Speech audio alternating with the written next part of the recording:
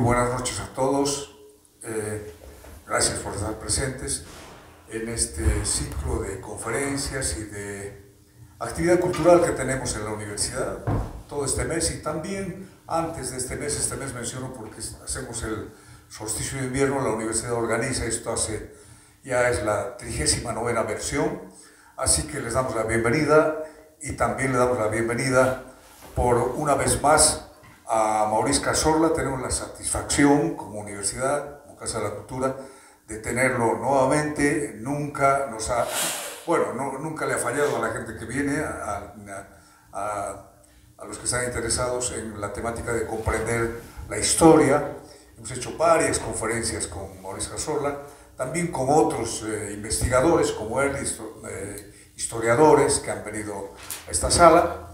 Eh, evidentemente, la, esperamos que en el curso del comienzo de esta conferencia, son las siete y media, también se aproxime más gente porque hemos eh, invitado, hemos distribuido nuestras eh, esquelas, etcétera, en todas partes. No siempre es sencillo traer gente, viene especialmente a las personas que quieren escuchar estos temas que son interesantísimos. La conferencia que hoy va a impartir, eh, a exponer Maurice, es eh, quién fue Mariano Melgarejo. No voy a abundar en esto, sino simplemente decir que es un capítulo todavía, eh, como todo capítulo en la historia, hechos históricos, abierto a la investigación. Hay eh, mistificaciones, hay corrientes de interpretación, que para unos ha sido una desgracia, para otros no, etc. Yo creo que Mauricio nos va a esclarecer en ese plano, desde su interpretación también, el rol que ha jugado Mariano Melgarejo en la historia de nuestro país. Así que bienvenido Mauricio, en nombre de, del arquitecto Macleo Marconi, que no puede estar esta noche por cuestiones de salud, ¿no? está con baja, así que en nombre de él te damos la bienvenida y en nombre de toda nuestra Casa de Estudios Superior. Bienvenido. Gracias, Omar. Gracias, buenas noches. Hola, hola. Bueno, eh, muchas gracias por esta eh, presencia suya. Ricardo, qué lindo verte mucho tiempo, la verdad. Un gran privilegio. Gracias a todos ustedes. Hola, hola, hola. Hola, hola. Gracias. Bueno, eh, bueno, en realidad esta conferencia la, yo, yo la tenía ya hace mucho tiempo, pero nunca hubo la oportunidad de compartirla, porque nos habíamos dedicado al tema de la historia de Oruro y Melgarejo tiene que ver con la historia del país y no específicamente con la historia de Oruro, aunque tiene anécdotas y hechos que se vinculan con nuestro entorno. Y ahí es donde eh, hemos decidido tomar una posición para entender este personaje desde lo humano, desde el ámbito eh, de militar, de gobernante y también entender su, su desenlace ¿no? tan trágico para el país. Y me he traído varios libros que solamente para mostrar que ha sido el presidente del cual más he escrito hasta el momento creo que es eh, eh, el, único presidente que ha llegado a tener, aquí solo una parte, faltan todavía libros que eh, nos, oh, nos, nos en realidad varias cosas. El más conocido por todos nosotros es el famoso libro de Tomás O'Connor Darlach, Dichos y Hechos de Mariano Melgarejo. Es el que todos hemos conocido. Esta es una edición, debe ser la quinto o sexta en realidad que ha salido en los años 40. La primera edición salió en 1947, es esta. La primera edición es de 1919, no la tengo esa.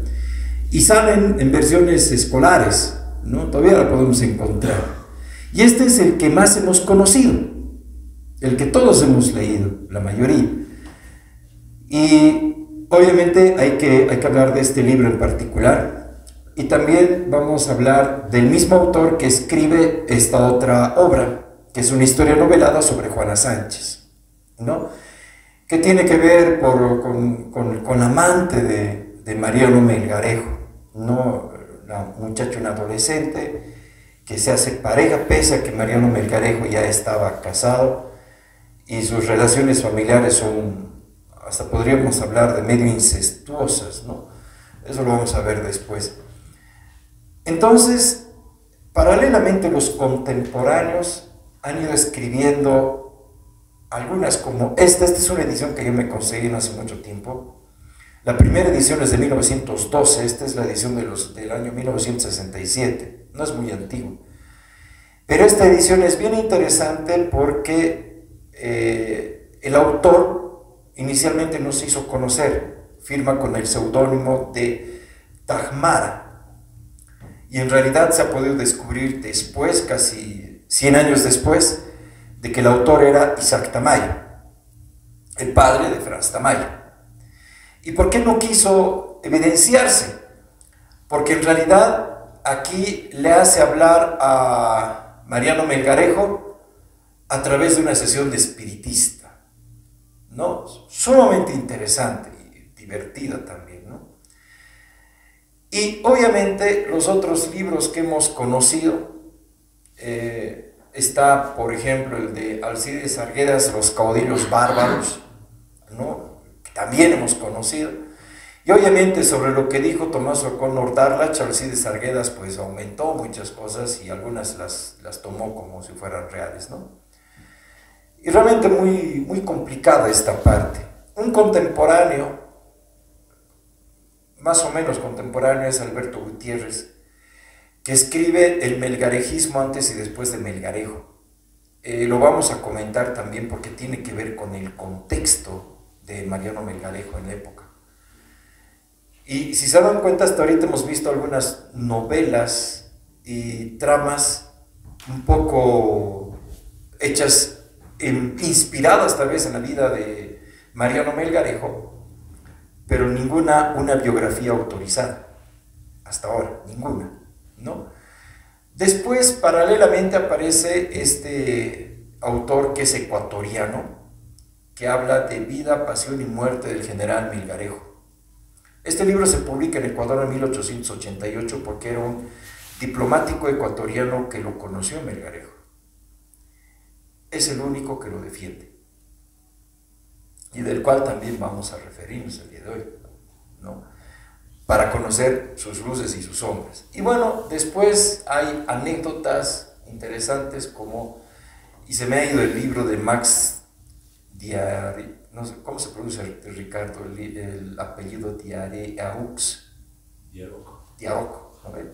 Famoso libro, que no lo, no he traído porque no me alcanza el espacio, es la famosa novela Melgarejo, un tirano romántico se han dado cuenta que hasta aquí seguimos hablando de obras inspiradas en la vida, pero muchas de ellas que no son reales. ¿no?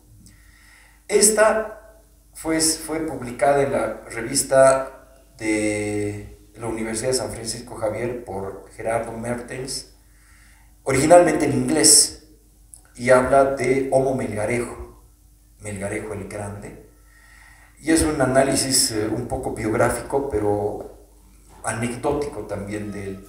Y lo publica también en este libro eh, Porfirio Díaz Machicado, uno de los historiadores más interesantes, pero lamentablemente Porfirio Díaz Machicado también cae en el error de, reproducir las anécdotas más que el, proceso personal de, este autor. Y después tenemos el del coronel Julio Díaz Arguedas, eh, Los generales de Bolivia también una biografía en una de sus páginas, que también nos, nos habla sobre eh, eh, Melgarejo, pero ya contaminado con lo que escribió Alcides Arguedas, Tomás O'Connor Darlach. En Bolivia nos hemos acostumbrado a reproducir lo que se dijo anteriormente como si hubiera sido una verdad. Y como dice Goebbels, ¿no? Miente, miente, miente, y siempre algo quedará y al final, cuando se miente muchas veces, se convertirá en verdad. Y eso fue lo que pasó con Melgarejo desde este libro. ¿no? Entonces, obviamente, ahorita vamos a entrar en el tema personal, y ahí aparecen las anécdotas, como por ejemplo este libro que lo hemos conseguido en Argentina, que es Estampas Históricas y Valoraciones Críticas, que hace un análisis también de, de, Melgarejo. Y un libro que a mí me ha parecido muy interesante, que muy poco difundido, es este de José Luis Baiceras, Melgarejo sabía poder y muerte. Tal vez un intento biográfico un poco más objetivo de la vida de Mariano Melgarejo. Lo ha escrito eh, este este autor en realidad que nos narra en base a fuentes primarias de quién era y qué hizo Melgarejo a lo largo de su vida y de su gobierno. ¿no?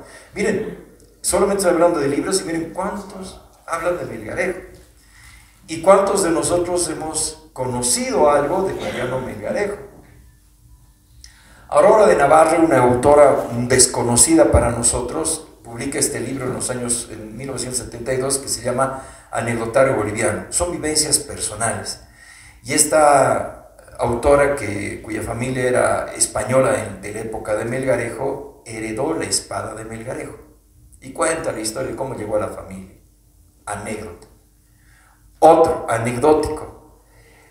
Biografía del Palacio Quemado de Mariano Bautista Gumucio. Lo mismo, hace una anécdota o escribe la anécdota de por qué Melgarejo no vivía en el Palacio del Gobierno de La Paz. Igual, todo un tema anecdótico, ¿no? Basado en que habían aparecidos y cosas así, y él no quiso hablar al respecto. Páginas de sangre, que habla de la muerte de personajes que han tenido que ver con la vida de Melgarejo. En primera instancia, Manuel Isidoro Belsu, al cual se le acusa a Melgarejo de haberlo asesinado, ya lo vamos a ver ahorita que no es así. Eh, Morales, que fue quien lo reemplaza, que le hace el golpe en La Paz el 71, y después la muerte de Melgarejo, el año 72 en Lima. Y todo un libro que lo hace uno de los mejores investigadores que también ha tenido el país, que es Vicente Terán Irquicia, que habla de la muerte del tirano, que solo se ocupa de la muerte de Mariano Melgarejo en Lima hay un proceso que está en, en Lima, en Perú, ¿no? Y ustedes saben bien quién lo mató, ¿no? Era su propio cuñado, Aurelio Sánchez. Y se, hace, todo un análisis cómo es la, la, la muerte del general Melgarejo. Y él estaba viviendo todavía con sus dos hijas, una de ellas casada también con el hermano de Mariano Melgarejo, o todo un, una trama terrible. Y en los años 90 aparece este libro de Félix Alfonso del Granado, que escribe Memorias de Olufernes. Un libro muy interesante, pero novelado. O sea, tampoco podemos decir que una historia novelada puede ser 100% cierta. Y claro, desde su punto de vista es como que el caballo cuenta, porque Olufernes era el caballo de Melgarejo, Oliver nos cuenta cómo ha sido la vida de Mariano Melgarejo desde que lo conoció. ¿no? Entonces es sumamente didáctico, interesante, no sé si didáctico, pero sí entretenido. Una obra póstuma de Rigoberto Paredes es Melgarejo y su tiempo, un intento también de biografía muy interesante, que también nos da detalles bastante buenos sobre lo que fue la vida de Melgarejo, su gobierno y todo lo demás. Aparte tenemos el de Alcibiades Guzmán, Los Colorados de Bolivia. Esta es una edición nueva, yo tuve la primera edición de 1908, que está muy gastadita, no la he traído porque se me puede dañar más, pero nos encontramos con esta edición que fue reproducida hace unos 20 años. Y aquí habla de la historia de los Colorados de Bolivia desde que se fundó la República. Eh, antes era el regimiento Cortés, el tercero de infantería, después pasó a ser el, el, Amarillos y después en el gobierno de Melgarejo llegó a ser el primero. Era el preferido de Mariano Melgarejo, así como fue el preferido de eh, Hilarión Daza. Y por supuesto, para hablar de las relaciones internacionales, está la historia diplomática de Bolivia de Jorge Escobar y Cusicanqui. Y esto lo vamos a hablar justamente el día de hoy. Y algo que me llamó mucho la atención es este libro que lo encontramos eh, perdido en realidad en, la bibliografía nacional. Es el Sistema Monetario de 1869, publicado en el gobierno de Mariano Melgarejo. ¿no? En la hacienda de Cayara hemos encontrado un manuscrito de Mariano Melgarejo, tenía muy buena letra, por cierto, y este manuscrito hablaba justamente de una especie de tratado sobre la moneda en Bolivia. O sea, no estábamos hablando tampoco de, de una persona ignorante como también don Tomás O'Connor Darlach nos lo ha pintado. Y eh, la respuesta a eso es este folleto de Francisco Velasco, La moneda Fleve, que lo escribe justamente en respuesta a este tratado. Y Francisco Velasco es nuestro paisano él, es, es papá de Enrique Velasco Galvar. Y algo que a mí me encantó mucho es este libro de Néstor Taboada Terán, uno de los mejores novelistas que ha tenido el país, pero novelista. Y él tiene una neta interés. Realmente un libro muy entretenido, La Tempestad y la Sombra. Creo que han sacado una segunda edición. Y este libro nos cuenta incluso la aventura que tiene Mariano Melgarejo con la reina Victoria. Es bien interesante. O sea, obviamente nunca pasó, pero es anecdótico porque la vida de Melgarejo nos ha inspirado a escribir muchas historias, ¿no?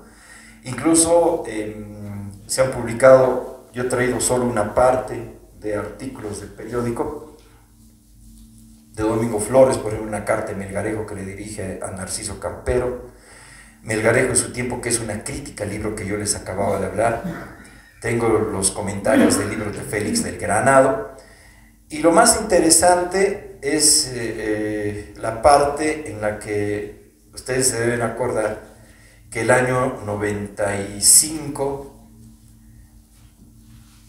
se trajeron los restos de Melgarejo a Bolivia. Se encontró los restos en, en Lima y se repatriaron al país por la familia. Actualmente están en la iglesia de Tarata, pero solamente el cráneo. El cuerpo fue incinerado, fue enterrado, pero el cráneo sigue todavía en Tarata. Y el cráneo, si no me equivoco, lo he traído. Y es un personaje bastante peculiar que cuando yo hablo de Melgarejo, él me hace soñar. Anoche me soñé con él, Y es un personaje bastante interesante, ¿no? Entonces, este es, estos son los fundamentos que yo he traído hoy día para compartir con ustedes. Y además de que mm, en la edición del cuarto centenario de, la patria para la Fundación de Oruro, yo publiqué un artículo sobre la, la revolución de Oruro del 1 de junio de 1865 contra Melgarejo. Entonces, miren, tanto, y eso falta también, ¿no? Entonces, realmente es un presidente, o un personaje, perdón, un personaje muy peculiar.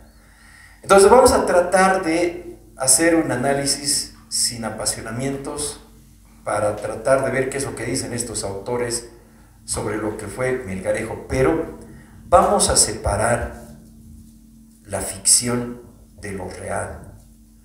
Vamos a separar en este momento, por ejemplo, el libro de Tomás O'Connor Darlach, porque este no es un libro de historia, es un anecdotario, ¿no?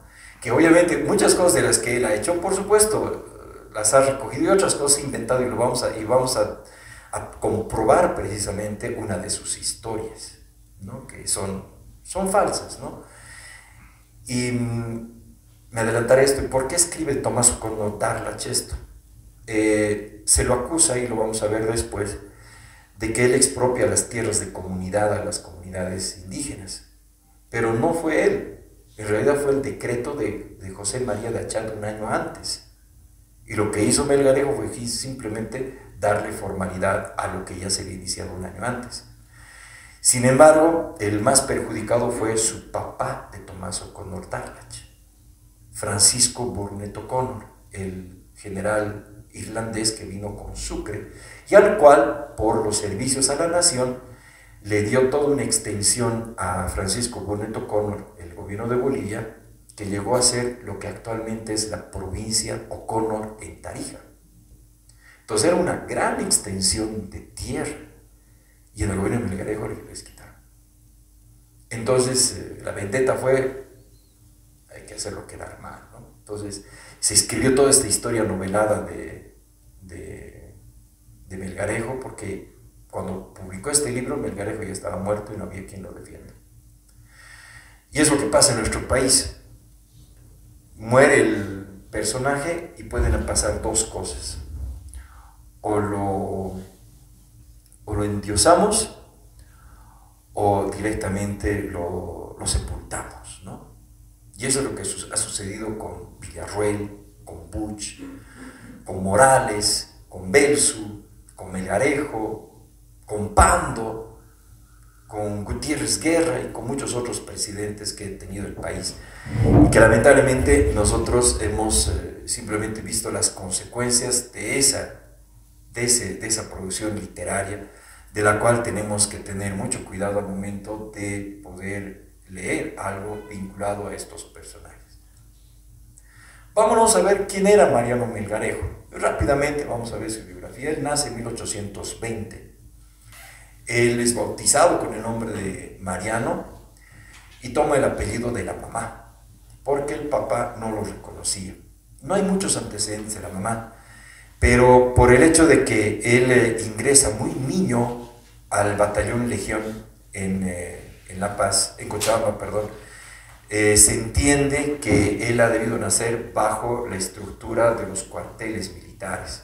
Es posible que esta señora haya sido, no estoy afirmando, pero posiblemente haya sido una rabona, como muchas mujeres que acompañaban al ejército. ¿Quiénes eran las rabonas? Las mujeres que les daban de comer a los soldados y además eran las parejas de los soldados.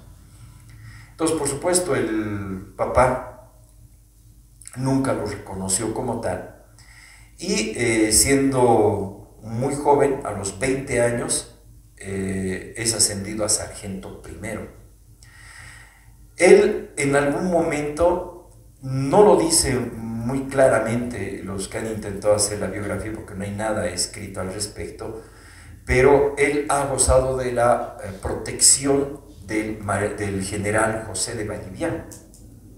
Incluso él es eh, compañero de travesuras de su hijo de José Vallivian, don Adolfo Vallivian Col. Ellos eh, se crían prácticamente juntos y es posible que esta amistad de cuartel haya promovido en realidad una protección de José Vallivian eh, en, el cuartel y le haya permitido inclusive que en la batalla de Ingavi haya ascendido al grado de subteniente. Pero cuando sube a la presidencia José Vallivian, imagínense, a esa, a esa edad, 23, 24 años, eh, Mariano Melgarejo alcanza el grado de coronel, ¿no? beneficiado justamente por eh, su protector que era José de Vallivian. Cuando asume la presidencia José Miguel de Velasco y Manuel Isidoro Belso, obviamente lo dejan fuera del poder político, por lo que se asocia con em, grupos que trataban de tomar el poder. Y ahí lo vamos a citar a este señor don Alberto Gutiérrez, porque en el siglo XIX no, habían, no había una línea política porque el país vivía bajo el paraguas del liberalismo. El liberalismo que habíamos heredado de la Revolución Francesa y el liberalismo que trajo el libertador Bolívar y que también Andrés de Santa Cruz a través de sus códigos napoleónicos trataba de implementar en el país. estábamos viviendo un régimen de liberalismo, pero no nos dábamos cuenta que era liberalismo. ¿Por qué? En ese tiempo los partidos políticos no tenían esa línea política, o una línea, o una ideología política, mejor dicho. Los partidos políticos se formaban en función al nombre y hasta la fecha en la cual tomaban el poder. Por ejemplo, el Partido Bolivianista de José de Vallivian, el Partido Septembrista, que era del partido de José María Linares, que después se convierte en el Partido Rojo, que no tiene nada que ver con el rojo de los comunistas, ¿no? El Partido Belcista, el Partido Moralista de José Agustín Morales. O sea, y, y, y Melgarejo tuvo su propio partido, el Partido Decembrista, porque eso lo hace en, en función a que él toma el poder en diciembre de 1864. Entonces no hay una línea política y los partidos políticos responden al caudillo. Aquí sí le doy la razón a Alcides Arguedas, porque los que toman el poder en el siglo XIX, en la mayoría de los casos, en la mayoría de los casos, son caudillos, no líderes políticos. Entonces, el, el primer gobierno civil que tiene el, el país precisamente es el gobierno de José María Linares. Entonces, eh, este, este partido, este, primero que era una persona que tenía bastante dinero, invierte su propia fortuna para ser parte del poder. Y hay una anécdota con José María Linares porque ahí lo pintan con la medalla presidencial. Fue el primer presidente que no llevó la medalla presidencial porque el eh, gobierno de Córdoba que es el eh, yerno de Belsu, eh, el, obispo de La Paz se lleva la medalla y Linares nunca llega a usar la medalla presidencial. No habían gobiernos constitucionales. Trataron de poner gobiernos constitucionales, aprobaban la constitución, por ejemplo, la del 36 en el gobierno de Santa Cruz, la, constitución, por ejemplo, de 1851 con el gobierno de Belsu, o la constitución del 63 después reformada con la constitución del 67 de Mariano Melgarejo. Entonces, incluso cada gobierno trató de redactar su propia constitución para validar la, constitucionalidad del gobierno que en ese momento estaba asumiendo el poder. Incluso eh, hasta el manejo de los símbolos patrios es bastante peculiar, porque vamos a ver a Melgarejo, nunca, esta es una pintura que la conocemos todos, que tiene la pintura con la banda presidencial del rojo, amarillo y verde. Es anacrónica, porque si bien la bandera fue creada por Manuel Isidoro Belsu, en el gobierno de Melgarejo no la usó, precisamente porque fue un emblema creado por su rival político. Entonces, él utilizó la bandera amarillo, rojo, verde la segunda bandera. ¿no? no es que se creó en la constitución del, 51, pero no se formalizó sino hasta 1888. Incluso en la Guerra del Pacífico había la confusión de utilizar la bandera rojo, amarillo y verde o la bandera amarillo, rojo y verde, como salen muchas fotografías. Hay una gran confusión en eso. Entonces, en ese contexto, Mariano Melgarejo en realidad se va apoyando en en, el caudillo boliviano. Y Bolivian después, que es derrocado por el, por el gobierno de Manuel Isidoro Belsu, y es interesante la rivalidad, rivalidad de Belsu y, Boliviano, para que vean cómo son las anécdotas. ¿no? Esto sí es real, porque la esposa de Manuel Isidoro Belsu era una gran escritora argentina, doña Juana Manuela Gorriti, ¿no? que llegó a tener dos hijas. Eh, eh, con el matrimonio de Bells, una de ellas también escritora. Y em, la anécdota cuenta que está, ay, ya me no, no he hecho ese libro, me he olvidado, es, em, cuenta la anécdota que Belsu empieza a tener una rivalidad a muerte con Valivian, porque un día, eh, según la anécdota, esto no sé si será tan real, pero tengo que comentarlo porque tiene que ver con un, poco del, anecdotario boliviano, ya que estamos hablando de anécdotas, de que eh, lo sorprende a Bolivian y a Gorriti saliendo de, a, a saliendo del, de, su, de, su, de, su, cuarto, de su dormitorio, ¿no? Y desde ahí Belsu le jura eh, terminar con, con, su vida inclusive. Y eso lo cumple porque cuando Bolivian sale del exilio después de haber sido derrocado, muere en Río de Janeiro producto de la fiebre amarilla, ¿no? Y el hijo, Adolfo Vallivian, es quien va pugnando el poder después, poco a poco, ¿no? Entonces, estas rivalidades no eran políticas, eran rivalidades personales. Y es ahí en ese contexto que Melgarejo, cuando está en el gobierno de Vallivian, llega al grado de coronel, como yo les decía, automáticamente Persu lo, lo, degrada, lo saca del poder. Y él organiza un, un golpe eh, en Cochabamba en 1854. Esto sí es cierto, porque aquí lo relata Tomás Ocondo Dalacho como una anécdota, y eh, le, promueve una revolución, y eh, Belsu ordena su fusilamiento por traición. ¿no? Y el vecindario de Cochabamba intercede para que no lo maten. No, por favor, no lo maten. Y ahí Tomás O'Connor Darlach dice, como un presagio, él advierte al pueblo de Cochabamba que se iban a arrepentir de esta decisión que iban a dar, previendo que lo, que iba a pasar después. La verdad no sé si eso realmente lo habrá dicho Verso, pero nos ayuda un poco a conocer el contexto. Pero de ahí eh, Melgarejo se va a, Tacna y se reúne justamente con, em, con con el hijo de José Vallivian, que es Adolfo Vallivian, viven en Tacna, viven en, Puno, hasta que eh, el movimiento linarista de José María Linares toma el poder, y casualmente aquí en Oruro en 1857, cuando derroca el gobierno de Jorge Córdoba. Jorge Córdoba, que era el yerno de Belsu, y que en la transmisión de mando de 1852 le pasaba el poder a su yerno, ¿no?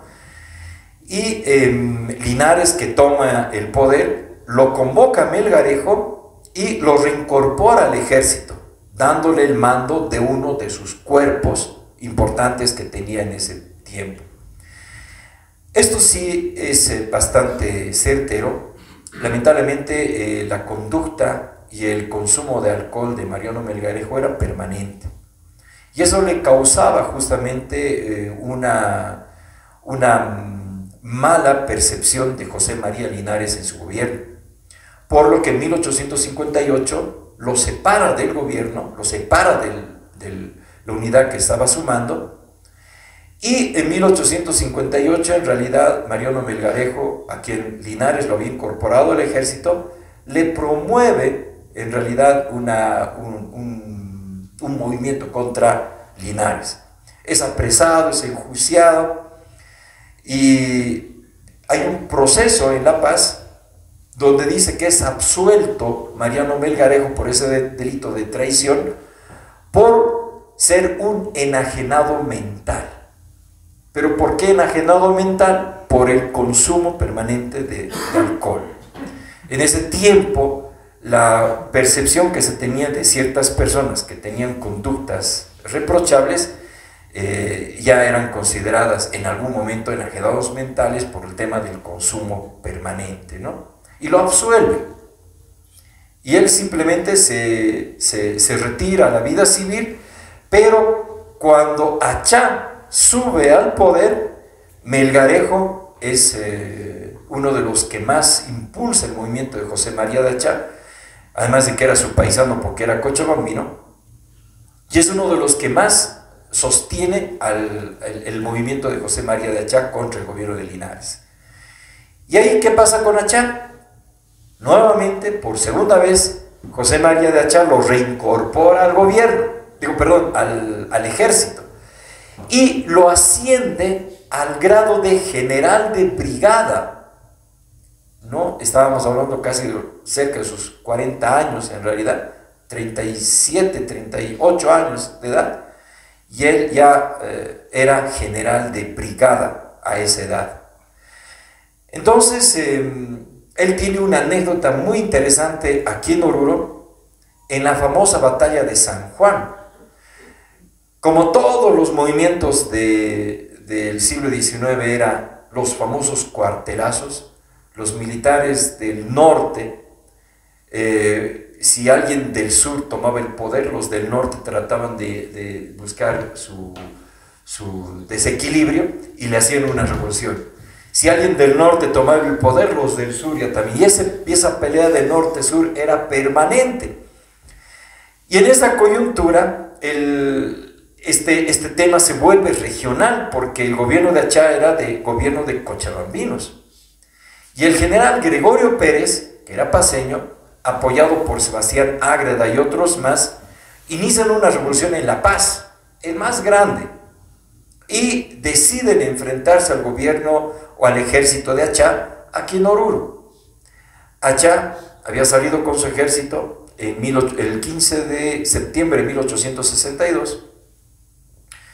¿Y por qué se levanta el gobierno? Me olvidé decirlos, porque justamente Plácido Yáñez en La Paz había tomado la determinación forzada mientras el gobierno de Achá se había ido a Sucre, a Chuquisaca, había tomado la determinación de tomar presos a todos los, del partido de Manuel Isidoro Belso, o sea, todo el partido belsista, incluyendo a Jorge Córdoba.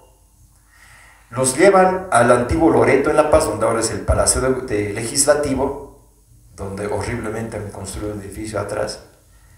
Y en ese lugar, que era el convento de los jesuitas, los encierran a los, a los belsistas, incluyendo Jorge Córdoba.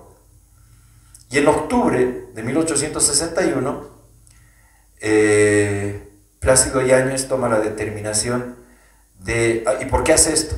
Porque él era del gobierno de Vallivian. Y junto con Vallivian fue exiliado. Y cuando es exiliado a Mojos, el territorio del Beni, Beni que fue creado por el gobierno de Vallivian, lamentablemente su hijo menor, su hijo pequeño muere víctima de las enfermedades. Y él jura vengarse. Entonces, con esa, con esa sed de venganza, organiza el 23 de octubre de 1861 lo que se conoce en la historia de Bolivia como las matanzas de Yáñez. Saca todo, llama a todos los uh, uno por uno y en la puerta del Loreto, es el Palacio Legislativo, los va matando uno a uno, incluyendo el, el expresidente Jorge Córdoba. Entonces el pueblo de La Paz se indigna y ese es el, primer eh, crimen terrible que sucede en el Palacio de Gobierno, porque un mes después, el 23 de mayo, es asesinado Plácido Yáñez junto con el papá de Juana Sánchez, por la turba de La Paz. Y los asesinan, los matan y todo eh, una, una historia muy trágica, muy dramática.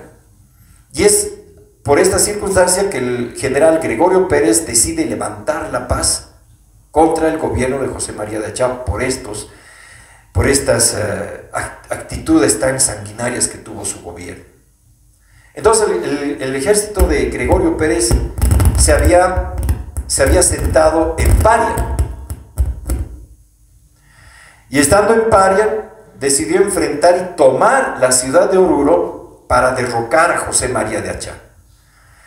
Esta batalla, o perdón, el ejército de Gregorio Pérez estaba conformado por 2.000 a 2.500 efectivos y el ejército de Hacha estaba compuesto entre 1.200 a 1.500 plazas. Era una derrota segura. Entonces el gobierno de el general Hacha con su estado mayor dice las crónicas que lo describe muy bien José, eh, el general Eliodoro Camacho en su libro Arte Militar se reúne en las faldas del Cerro de San Pedro, aquí en el norte, y eh, están analizando la posibilidad de rendirse ante el general Gregorio Pérez, que él se había autoproclamado presidente del país. Y mientras estaban discutiendo, sale el general Mariano Melgarejo, y lo describen incluso, le dicen que estaba con un ponche y un sombrero de paja, y dice, mi general, si hay que combatir, yo combato. Y además que estaba bebido.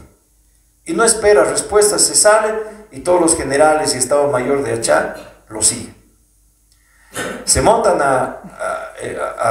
en sus caballos y la infantería los acompaña. Y en el sector de San Juan, aquí muy cerca de, de Soracachi, antes de llegar a Paria, hay un descampado que se llama San Juan, todavía existe ese campo de batalla lo hemos recorrido. A las 6 de la mañana del 15 de septiembre de 1862 se enfrenta el ejército de Gregorio Pérez con el ejército de Achá. ¿Y quién gana esa batalla? El gobierno de Achá.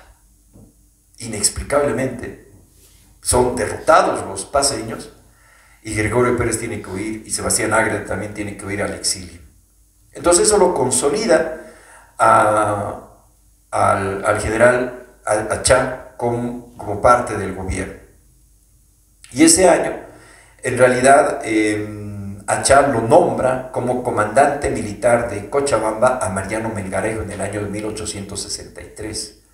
Y Achá es uno de los pocos presidentes que decide constitucionalizar su mandato y convoca un congreso en Oruro. El famoso Congreso de Oruro, que frente a la situación de la presencia de eh, empresas salitreras en el desierto de Atacama, en Oruro se declara la guerra a Chile en 1863, ya en ese año. Pero claro, después queda sin efecto por lo que vamos a comentar. Y el mismo, eh, siendo comandante militar de Cochabamba, el propio eh, Mariano Melgarejo lo derrota, o lo derroca, perdón, a, al general Achá, lo protege el 28 de diciembre de 1864. Y hay algo interesante que tiene que ver con un personaje orureño que se llama Jorge Obritas. Jorge Obritas era ministro de Justicia del gobierno de José María de Achá y estando en Cochabamba el presidente Achá, Melgarejo tuvo la osadía de levantar en armas al ejército para tomar el poder, pero no con intención de que él sea presidente, sino de llevarlo al poder Adolfo Valliviano, ese era el objetivo. Sin embargo, eh, no fue así. Jorge Britas le toma del brazo a José María de Achá y le lleva hasta el convento de las concebidas en Cochabamba. Toca la puerta y le dice, por favor, protéjanlo aquí al general que su vida corre peligro por el levantamiento del cuartel. Y le dice al general Achá, mi general, hasta aquí le he servido lealmente a su gobierno. Lo dejo para que usted tenga seguridad y yo me voy a poner al servicio del nuevo gobierno. Y Jorge Obritas va, lo busca Melgarejo, y Melgarejo, que había tomado el poder, todo el mundo pensó que estaba tomando el poder para Adolfo Valliviano. Sin embargo, no sé si impulsivamente, porque era una persona muy impulsiva, pero él decide proclamarse presidente del país. Y los vallivianistas se quedan sorprendidos, ¿no? Y de esa manera que mm, Oblitas, pensando que Vallivian iba a ser el presidente, en realidad se presenta ante Melgarejo para ofrecer sus servicios y Melgarejo lo, nombra directamente como ministro de guerra y después como ministro de, finanzas o de hacienda pública. Y esas son las, las, circunstancias en las cuales toma el poder Mariano Melgarejo y Adolfo Vallivian se queda con los crespos hechos. ¿no? Eh, y eso da lugar a que los belsistas que habían sido victimados en La Paz, los que han podido escapar, inician un movimiento porque Belsu llega hasta Europa y de Europa atraviesa el Atlántico, casualmente acompañado por un personaje importante para la historia de Bolivia como fue en ese momento el coronel Narciso Campero. Y vienen juntos y charlan, conversan sobre la situación boliviana. Y cuando llegan al Perú, obviamente no había ferrocarril, no había para llegar directamente a Oruro, Narciso, a Bolivia, Narciso Campero se despide de Belso y le dice, eh, mi general, que le vaya muy bien, él había, terminado, Campero había terminado un curso de formación en una escuela de guerra en Francia, en París, y estaba volviendo a Bolivia y se despide muy cordialmente de, de y se adelanta. Y cuando se adelanta, se pone al servicio del gobierno de Melgarejo. Y Belsu en realidad llega a La Paz y organiza un levantamiento contra el gobierno de Melgarejo en 1865. Y es ahí donde yo escribí eh, en esta revista que les dije, la revolución de Oruro del 1 de junio de 1865. Tres personajes de Oruro, Donato Vázquez, Ignacio León y Francisco Velasco. Los tres personajes que entre Donato Vázquez e Ignacio León eran rivales políticos, porque Ignacio León era del Partido Rojo, del partido de Linares, y Donato Vázquez era belcista, del partido Manuel Isidoro Belso. Y Francisco Velasco era de otro lado que ya estaba desapareciendo, era crucista del gobierno de Santa Cruz. O sea, imagínense la mistura de partidos que habían que respondían a esa coyuntura. Pero en Oruro deciden reunirse y entre paréntesis, ¿no? En el momento que se toma el gobierno en, en, Oruro, o se toma el poder, el prefecto Oruro se escapa, pero la guarnición que estaba en la prefectura obliga a, a organizar una defensa en realidad, y ahí muere Rufino Jiménez, ¿Quién es Rufino Jiménez? Es el hermano de Genoveva Jiménez.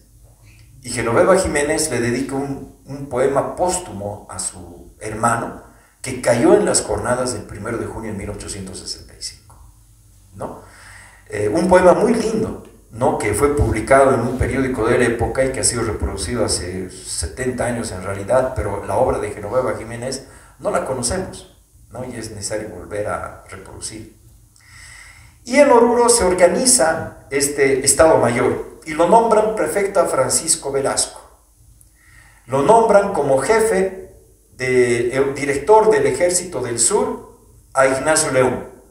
Ya era mayor don Ignacio León en ese momento. Y a Donato Vázquez, que era abogado y además coronel de ejército, lo nombran jefe del Ejército del Norte. Y tienen la misión de llevar al ejército, conformado por orureños, para llegar a la paz y tomar la paz. Y eh, Ignacio León debía ir hasta Potosí y Sucre, obligando a las ciudades a que apoyen el movimiento de Oruro. Pero fue eh, malinterpretado esto porque cuando llegaron a La Paz, el doctor Donato Vázquez no les dejaron ingresar a La Paz porque uno de los hermanos Barragán, Cirilo Barragán, le dijo a Donato Vázquez, para levantarnos contra Melgarejo nos bastan los paseños, no necesitamos de los orureños. Y al final fue un tema de entendimiento. Ignacio León, cuando estaba yendo hacia Potosí, se queda en Chayapata y se entera que eh, los granaderos, que son los colorados en realidad, estaban acampando en Chayapata. Y ahí decide tomarlo preso a su comandante el coronel Ildefonso Murguía, que dice la, historia que esto está recogido por el hijo de Agustín Morales en los primeros 100 años de la República de Bolivia, lo toma preso porque estaba borracho. Y no le resulta difícil y lo agarra y lo, lleva preso. ¿no? Entonces, ahí viene todo ese esquema de, de procesos interesantes, de acontecimientos, y no quiero alargarme porque está muy largo esto. Pero em, aquí viene uno de los hechos tal vez más dramáticos que ha tenido la historia del país. Porque Melgarejo vuelve a La Paz y eh, al volver a La Paz, me olvidé que se llamaba el prefecto de La Paz en ese momento, le da alcance en el alto y en el alto le dice, bueno, Tomás Ocono Darlach dice, que al darle alcance en el alto, eh, el general Melgarejo obliga a que dos de sus edecanes lo maten a culatazos. Pero lo dice Tomás O'Connor, yo no he encontrado ningún documento que confirme eso, justamente por haber permitido que la paz se levante contra Melgarejo. Y cuando baja a La Paz, se organizan las barricadas, toda La Paz lucha contra Melgarejo, y ahí se produce uno de los hechos más anecdóticos de Mariano Melgarejo, que está recogido en el libro de Narciso Campero, Los recuerdos de... ya me olvidé su, nombre. Y hay un gráfico, cuando está en la calle Potosí, la calle donde ahora es la Casa Grande, en La Paz, la Ayacuchos, ¿no? En esa esquina había una barricada. Y se quedaron solamente los coraceros con Mariano Melgarejo y el coronel Campero. Entonces, eh, según Campero, pero que posiblemente haya sido algo real, porque lo, recoge también eh, Tomás O'Connor Darlach, y lo recoge también este, este autor, se levanta y con revólver en la mano dice, o me seguís coraceros o me destapo los sesos. Y los que estaban enfrentándolo pensaron que se, que se iba a rendir y empieza a caminar. Y los soldados que lo estaban enfrentando lo siguen. Llega al palacio de gobierno y viene acompañado de Campero y un fusilero de Melgarejo. Y ahí se produce uno de los hechos más confusos de la historia de Bolivia, porque Belsu sale a recibirlo pensando que era porque se estaba rindiendo. Pero cuando se, está bajando la escalinata, y eso lo dice de manera magistral Moisés Alcázar con este libro Páginas de Sangre, cuando le está dando alcance, se escucha un disparo y el cuerpo de Belsu termina en el suelo. Según Campero, fue el fusilero el que disparó contra Melgarejo, veo, perdón, contra Belsu. Según Tomás O'Connor Darlach, fue el propio Melgarejo el que le disparó. En el año 95 apareció una carta y hay un libro muy interesante que se llama La gran traición en la guerra del Pacífico de Hugo Roberts Barragán. Y en, esta, en este libro, eh, ustedes conocen el monumento a los héroes en La Paz, en la Plaza Villarroel de La Paz, donde está enterrado Villarroel, Belsu y alguien más, no me acuerdo quién. Son tres presidentes. Y cuando se hizo cuando se levantó este monumento, se sacaron los restos de Belsu del cementerio. Y Belsu había sido víctima de un atentado ya en el gobierno, ya cuando era presidente en Sucre, cuando Agustín Morales en el Paseo de la Alameda, eh, cuando estaba caminando solo con alguien más, o sea, Morales que estaba caminando con Belsu, agarra su revólver y le dispara en la cabeza. Y Belsu, por supuesto, cae. Eh, Morales toma su caballo, quiere levantar al cuartel que está muy cerca de la plaza, allá en Sucre, y no le hacen caso. Entonces agarra su caballo y se escapa al exilio. Porque Morales no era un... Era, es, era considerado uno de los personajes más nefastos, incluso más que estos libros que nosotros conocemos. No lo querían a Morales. Entonces Belsu es atendido por el médico allá en Sucre, no le logran extraer la bala, pero milagrosamente sobrevive, ¿no? Y ahí comienza el mito de Belsu por el hecho de que lo consideraba medio dios, por el hecho de que había sobrevivido un atentado y vive con la bala arrojada en su cabeza. En el atentado, el orificio de ingreso está en la cabeza, a este lado, pero es de un calibre pequeño calibre 22, creo que es de la época. Mi coronel debe ser 22, ¿no? De los revólveres de esa época, ¿no? Posiblemente. Entonces, el calibre es, es menor.